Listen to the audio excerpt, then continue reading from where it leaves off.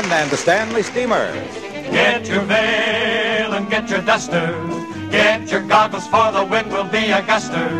Keep your Harvard gown firmly belted down when we're out in the Stanley Steamer. In a gale we never fluster, cause the wind will give our cheeks a rosy luster. If we're dressed in style, everyone will smile when we're out in the Stanley Steamer. Donkey used to have his charm, but he's looking at us with alarm.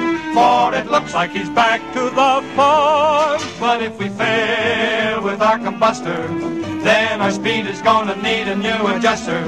We'll just sit and dream till we get up steam in the Stanley Steamer automobile.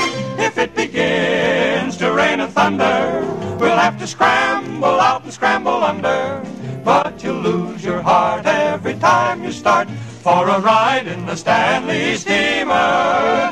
Chug chug, chug chug, chug chug, chug chug. The tandem bike has had its day. If you're riding one, you'll find that they poke along in an obsolete way.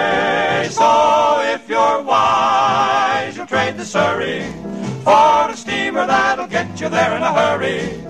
Up or down the hill, every mile a thrill. With the latest motor deal, come and sit behind the wheel with the man in the Stanley Steamer. In the Stanley Steamer Automobile.